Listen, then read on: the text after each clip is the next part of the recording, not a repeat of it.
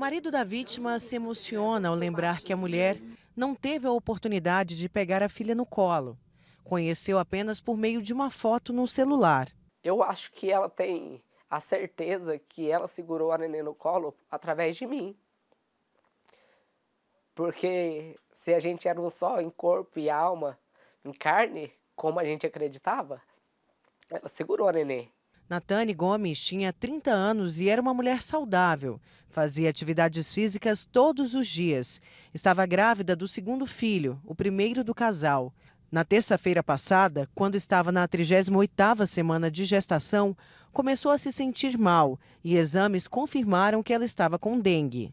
Nos primeiros dias, Natane ficou em casa, apenas se hidratando. Na sexta-feira, ela piorou e foi levada novamente ao hospital.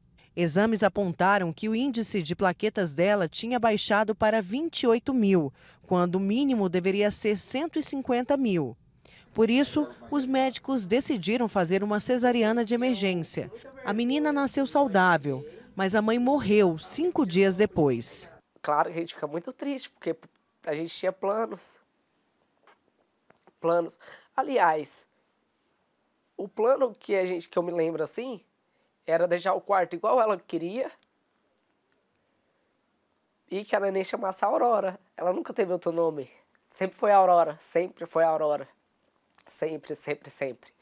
De acordo com dados da Secretaria Estadual de Saúde, até agora, a dengue matou 185 pessoas em Goiás. O número de casos prováveis supera 306 mil, aumento de 321%.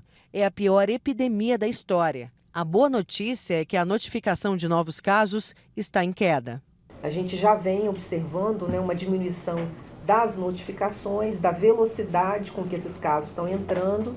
Então a gente não tem aquela mudança tão grande como nós vimos em semanas anteriores. Esse médico explica que, mesmo com a queda nos casos, toda mulher grávida faz parte do grupo de risco e precisa ter muito cuidado tem uma série de alterações fisiológicas que alteram é, tanto a característica da circulação, a característica da coagulação, uma série de outras da imunidade que faz com que a dengue, que a dengue seja muito mais grave na gestante do que na pessoa não gestante. Marcos diz que Natane tomava todos os cuidados, mas acredita que ela tenha sido contaminada dentro de casa. Não sei, porque é um mosquitinho que ela pode pegar em qualquer lugar, né?